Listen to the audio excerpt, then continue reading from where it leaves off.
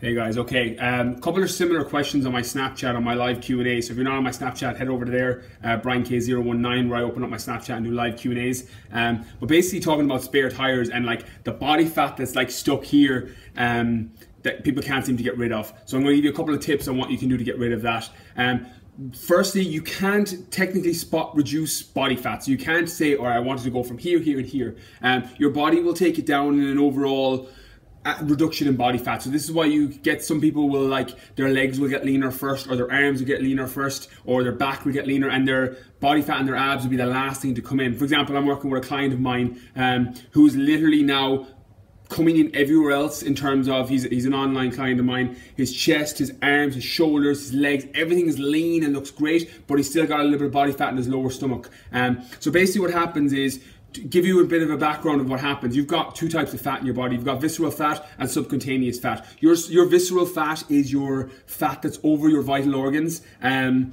it's the it's the fat that's basically dangerous for fucking you know um, heart disease and things like that. And then you've got subcutaneous fat, which is the fat that you can pull at, which is the the, the, the bits that you can see and pull at.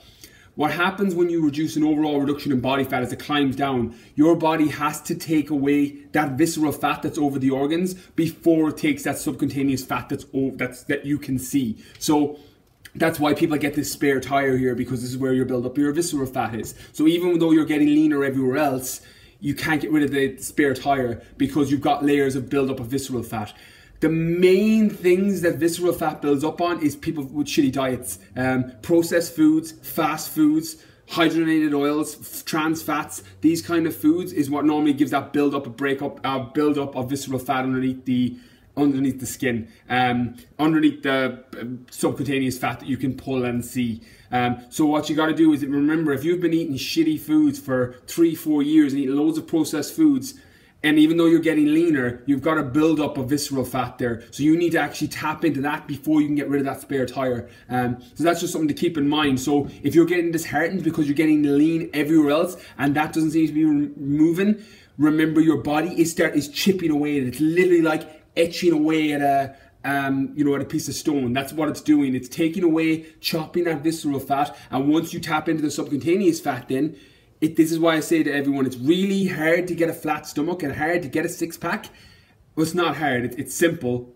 It's, it's, it's what you do. You eat less and you train more and eat well. But you know, it's it's it's not easy to do. Um, but it's really difficult to. It, it's harder to get there and get your flat tummy and get your six pack. But it's really easy to hold it because what happens is you don't rebuild up that visceral fat underneath. Um, so this is why I always say my head trainer Paul is very similar now. I can use myself because you're your own best example. Is even if my body fat climbs, you know, a little bit higher, I can get rid of it like that in a week, 10 days, because it's just subcutaneous fat. It's fat that my body can utilize as a fuel source because I don't have a buildup of visceral fat, because I don't eat processed foods, I don't eat fast food, I don't eat trans fat or hydrogenated oils. Um, so my body never adds to that visceral fat, so I can literally drop it like that if I need to. And it's the same with any of my long-term clients because I've cut these things from their diet. Again, I'm a balance on all aspects of life with alcohol, vices, you know, chocolate, whatever it is, things you enjoy.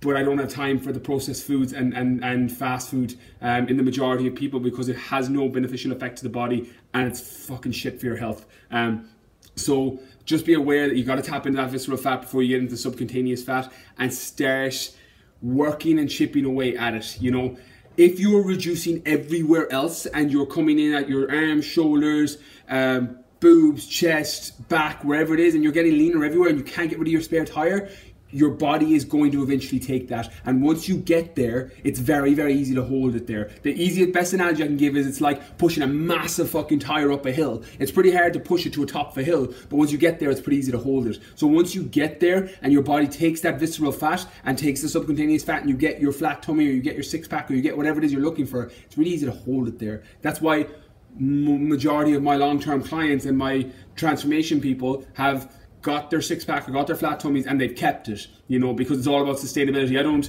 i don't take any pride in getting somebody a six pack or flat tummy. I'm like i want to fucking get you there and hold you there. You know i want you to be able to sustain this long term with without me with my team without my team so that you can do it yourself forever. That's that's always been my philosophy with it um, and that's the way you should look at it that put in the work put in the grind diet hard take out the shit food if you're eating processed food or fast food or Chinese or Indian or these foods that aren't supporting you, um, that are dipped in hydrogenated oils, you gotta fucking cut them, you know, and just get yourself to where you wanna be, and then it's really, really easy to hold yourself there. Um, so I hope that video helps. Remember, visceral fat, subcutaneous fat, keep chipping away at it, um, and eventually you'll get there. And once you get there, get your flat stomach, get your six pack, it's really easy to hold it. So hope this video helps. Please like and share the page. I'll be replying on comments for the next 24 hours.